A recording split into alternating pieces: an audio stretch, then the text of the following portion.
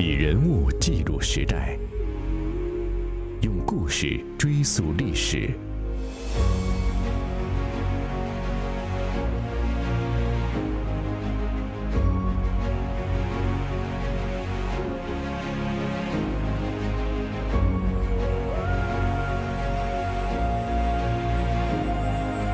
杜荣的周末译文志，遇见每一个值得记住的光影瞬间。大家好，欢迎收看今天的周末译文志。本期呢，我们依旧是讲地铁。上期我们说，中国在一九六九年有了备战功能的北京地铁一号线，发展到现在，已经成为全球地铁列车最多、建设里程数最长的国家。半个世纪，中国的科技发展带动了经济，带动了基础设施的突飞猛进。我想让每一个和我一样生活在海外的华人都是倍感骄傲、激动不已的。实际上，要说起来呢，全球最早有地铁的国家就是最老牌的资本主义国家——大英帝国了。那么，关于地下铁路的这个创举是谁想出来的？伦敦当年的地铁也是因为备战的需要而建设的吗？那么，到了今天，伦敦的地铁又发展成一个什么样的现状呢？今年啊是地铁诞生一百六十周年的纪念，所以在今天的节目当中啊，我就带大家去挖掘关于地铁的历史故事，让我们一起感受啊神秘的地下轨道在这一个多世纪以来漫长岁月当中的起伏和变迁。众所周知，工业革命是始于十八世纪的英国，当时前所未有的这种工业化推动了英国整体的蓬勃发展。那英国的首都伦敦呢，就变成了当时世界上的第一特大都市。有个记录啊，说一八四一年到一八五一年十年的时间，人口普查有三十三万移民涌入到了英国伦敦，这占到当时啊整个城市人口的六分之一。伦敦可以算得上是在十九世纪全世界最令人兴奋的一个城市，每个人都想到伦敦去挣钱，成为那儿的一份子。所以到了一八五零年。大伦敦的人口就增加到了二百五十万人，什么概念？咱们现在新西兰的总人口数也才五百万，就相当于我们一半的这个国家的人口。好，一方面是工业革命带来了人口的兴旺，另一方面呢，人口的过度密集，再加上在一八三二年的时候，当时致命的这个霍乱爆发，流行病肆虐伦敦，也是为了躲避疾病吧。那些富有的商业中产阶级者呢，他们就逐渐的搬到了伦敦西部的郊区去居住。哎，这就带来了一个现象：潮汐式的通勤。伦敦的人呢，每天下午离开这个城市，回自己的家里了，然后到了第二天早上再返回到工作岗位上，整个就变成一个这样的一个整体的发展了。随着瓦特发明的蒸汽机啊，在工业当中的大规模使用，到了1841年，英国人乔治史蒂芬森呢，他就发明了运行第一台蒸汽机车，也就是我们所说的蒸汽火车，进入到这个火车时代了。那十八世纪初的这个蒸汽列车呢，已经在英国运用上面是比较普遍的。像各个大城市之间啊，他们都是靠这个铺设的铁路来进行运输的，也是发展最快的一个国家。但是当时英国议会呢有一个立法，他们严禁啊在火车站的周边。要靠近那些市中心的地方，是不让在市中心建火车站的，因为认为会对于城市的建筑会有大规模的破坏。所以那些车站呢，其实是离城市比较远的。然后市内的交通呢，还靠的是马车。比如大家看那个《福尔摩斯探案集》里面，福尔摩斯探案的时候，他总是从这个寓所当中飞奔下到贝克街，然后乘坐这个马车匆匆的离去。很多这样的一个描写，你就知道那个时候马车是非常的盛行的。在一八五四年进行了一次关于通勤的调查，就说到这个伦敦的人口呢，呃，人流呢，从早上八点到晚上的八点，就发现在这十二个小时时间里，有二十多万的人不停地穿梭在各个街道当中。但这个运输工具呢，居然公共马车是最主要的，有三千七百多辆马车运载着三万多名的乘客进入到这个伦敦的市中心。那这还不算那些坐火车进入到伦敦的周边，然后再坐马车到市里面的。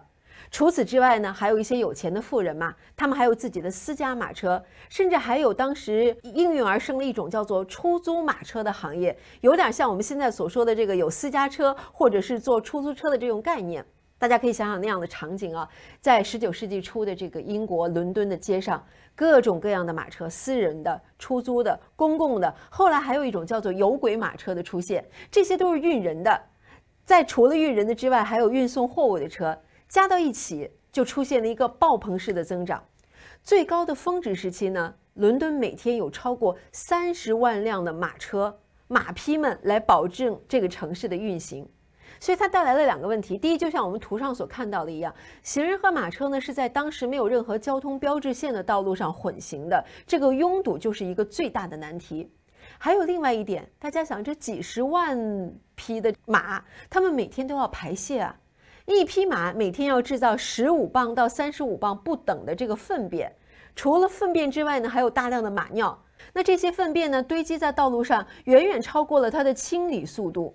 所以马粪到后来就已经不只是一个问题了，被伦敦当时的新闻称之为是巨大的一个叫做马粪危机。你想想那个画面，那个味道，我觉得从这些图上看起来都觉得是非常恐怖的。所以在这样的情况下呢，伦敦市就组织了交通委员会，他们打算征集方案，哎，要开始想想解决这个交通拥堵的问题，解决这个到处都是这个马尿和马粪的问题了。解决交通问题呢？很多人第一个提出的就是我们要进行大规模的交通改造。但大家知道，改造计划通常都是耗资比较巨大的，你需要大规模的进行拆迁，很麻烦，很费钱。而且最主要，这和当地这个保留百年古都古迹的这个宗旨也是相违背的，又是财政上无法支出的这个无底洞。所以各方面看到一块呢，都很不现实。那么在这个时候，众多献计献策的热心市民当中，出现了一个重要的人物。他就是查尔斯·皮尔逊。他出生在一个工人家庭，上到大学毕业之后呢，做了一名市政律师。所以他的工作的原因呢，每年都要处理很多因为车辆的拥挤而引发的一些纠纷和事故。所以在1845年的时候，皮尔逊呢，他就出了一本小册子。他在这个册子当中呢，阐述了自己的观点。他想着，我们可以把从这个法林顿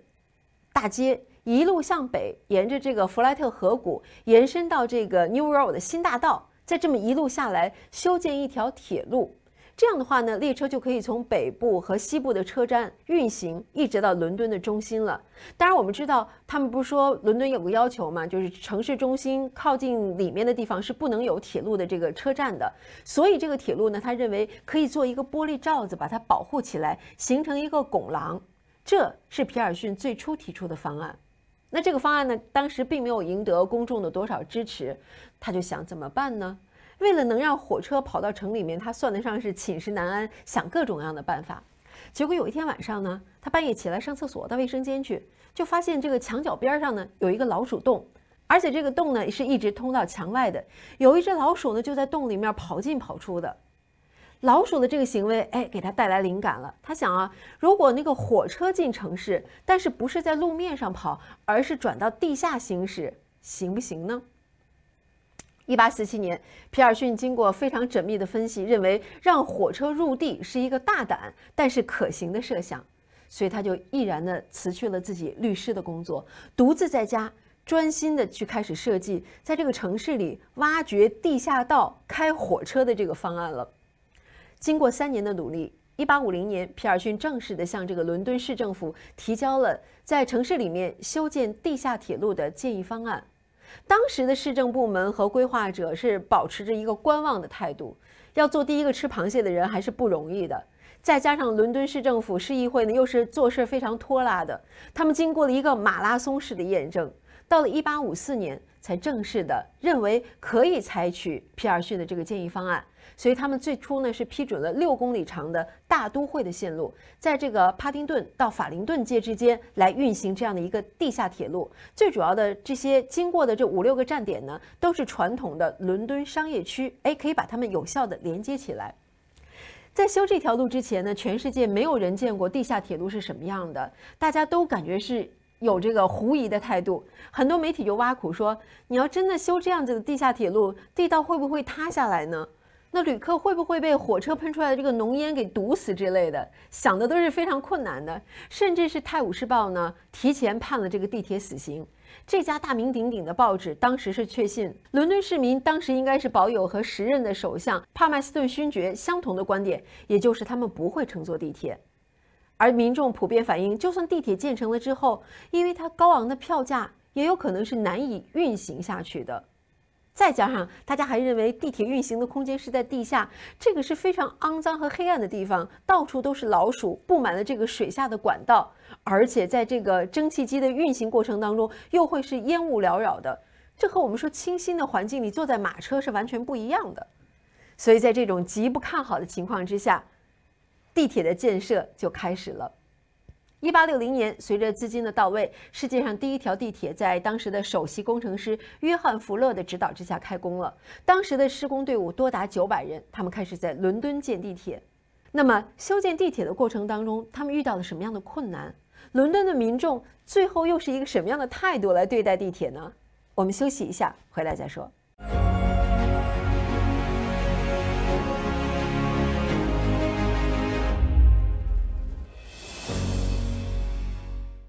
欢迎大家回到周末影文志，我们继续来说说全球最早的伦敦地铁是如何建造的。时间来到了一八六零年三月，伦敦的交通部门用一百万英镑的这个预算，这样的一笔启动资金，开始了地铁的建设工程。大家知道，当时盾构机还没有发明呢，所以地道的掘进方法呢也是特别的笨拙。他们在帕丁顿站到国王十字站之间，采用一种叫做明挖回填的技术来建造。简单的说呢，也就是先把这些地铁途经的地上的部分的住户呢，你全部要搬迁，不能在那儿了。然后工人们从地面上面开始向下挖一条十米宽、六米深的大壕沟，然后呢，用黄砖加固它的这个沟壁，再搭成一个拱形的砖顶，最后进行封顶，然后再把土回填到上面，在地面上再重建道路和房屋。大家想，这个耗资是非常巨大的。路面上开开了以后盖盖了之后再填。那么当时的地铁列车呢，是用这个蒸汽机来牵引着一个木质的列车车厢前进的。所以为了把这个蒸汽机车排出的浓烟给引出地下，他们在建好的隧道当中还要再钻出一个通风口。这种随挖随填的方式，呃，导致了很多的问题。毕竟你要穿越一些地下的气层、水层以及众多的污水管道，所以它并不是一件容易的事情。特别是施工期间呢，还会造成路面的这种严重的拥堵。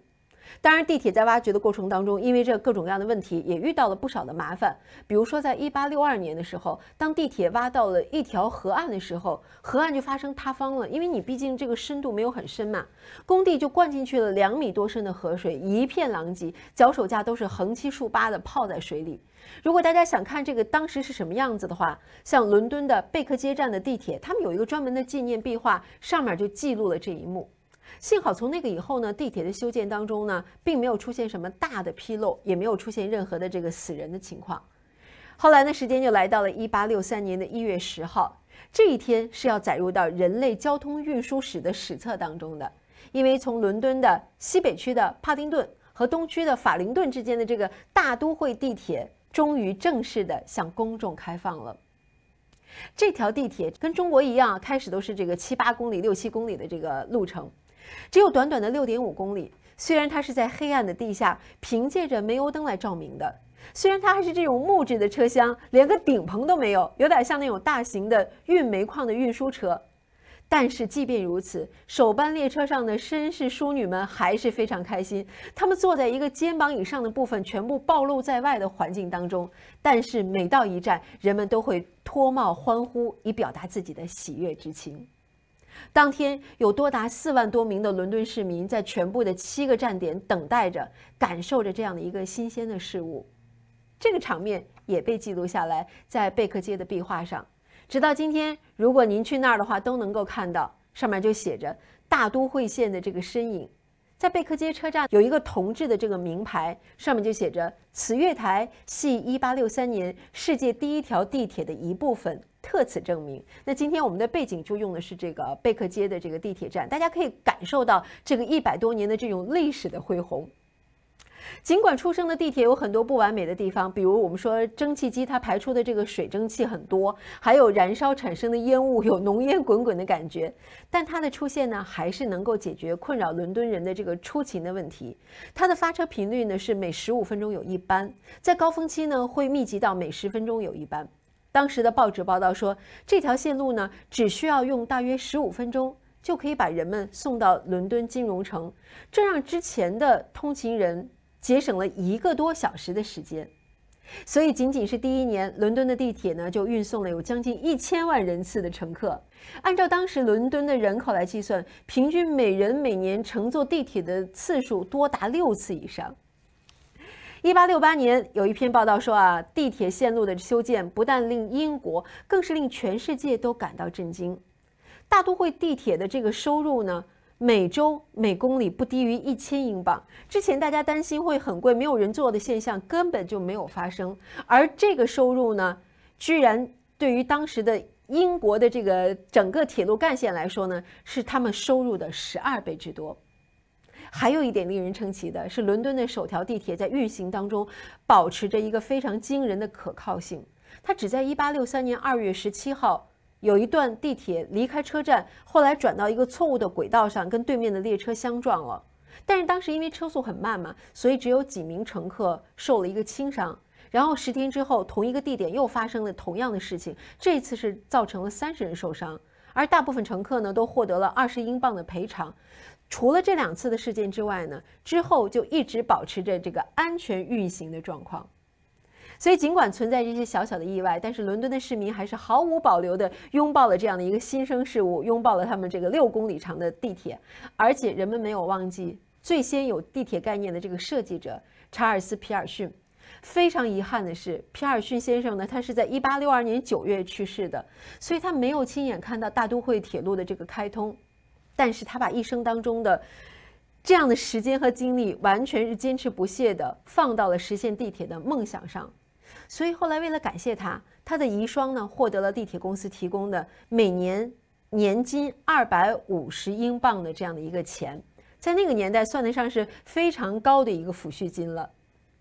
从一八六三年第一条地铁获得成功开始，尝到甜头的伦敦人就想着，嗯，我们可以开始修第二条地铁了，看起来蛮好用的。所以在同一年，我们说的第一条线路的这个首席工程师约翰福勒呢，他又提出了伦敦地铁线的这个建设，之前是一段直线。现在呢，要发展环线了，所以四年之后，环线铁路也投入到了建设，到一八八四年就完工了。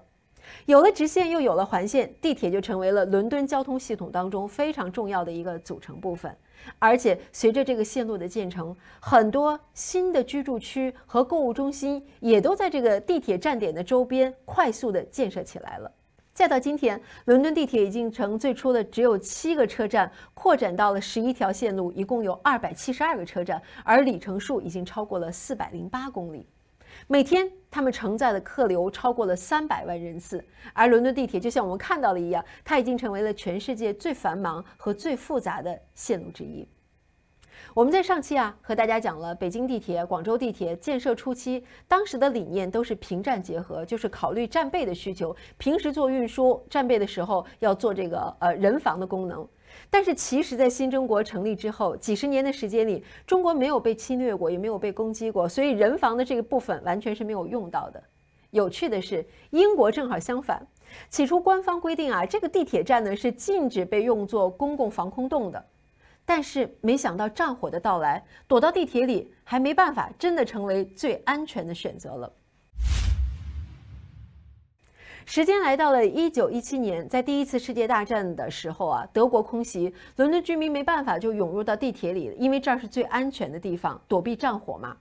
虽然官方开始呢是以禁止的态度不让的，但是面对空袭，手无寸铁的百姓没有地方可去，只有钻到地铁里。所以开始的这个聚集活动呢，是民众自发的。他们在这个末班车停止运行之后呢，就开始涌向站台，慢慢的就人满为患。再到车站关闭之后，大家就没地方去啊，就躲在那儿。任何可以躺的地方都会用作他们睡觉的床铺。虽然这儿的这个饮用水非常短缺，也没有洗手间，卫生条件也非常的这个啊堪忧，但是没办法，人越来越多，政府只能说，那我们就解除这个禁令吧。所以几周之后呢，地铁禁止避难的这个禁令，在首相丘吉尔的亲自干预之下就解除了。伦敦的交通局组织了专门的这个地铁的避难系统，他们在车站的月台上呢安装了临时的床铺，还有洗手间，还有由红十字会和圣约翰的救护队志愿者专门来经营的一个医疗的站点。在整个的战争年代，从一战开始，还有在二战时期，伦敦的地下交通线都成为了临时的军事指挥中心，还有工厂，还有医院以及市民的这个庇护所。每天，他们保护着数以万计的市民的生命安全，最多的时候曾经容纳过十七万多人。到了一九四零年，伦敦的地铁站的站台呢，所有的床位都铺满了，甚至需要买票预定才能够在这儿睡上一觉。大家记得电影《魂断蓝桥》里面，这个费雯丽演的这个玛雅和 Roy，他们就是在这个滑铁卢站躲空袭的时候见面的。而历史上，像丘吉尔呢，他也曾经在地铁当中，在维持这个战时的工作，在那儿还办过工。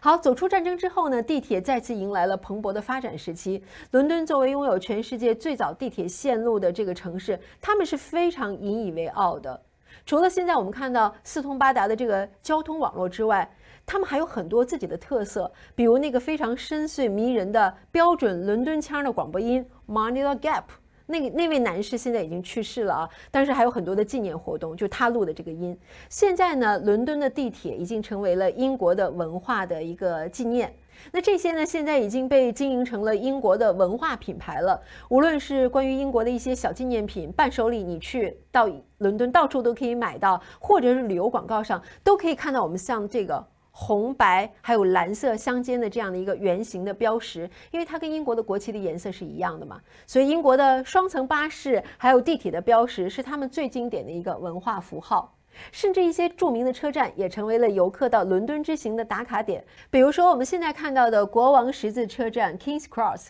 如果是看过电影《哈利波特》的朋友，一定会太熟悉了。电影里面通往这个霍格沃兹魔法学校的火车就是从这个国王十字站出发的。而且，如果大家去这儿旅游的话，还可以找到大名鼎鼎的九又四分之三的月台。国王十字站专门为了迎合广大的电影迷和旅游爱好者到伦敦去作为一个景点，还设置了这样的一个地方可以拍照去留念的。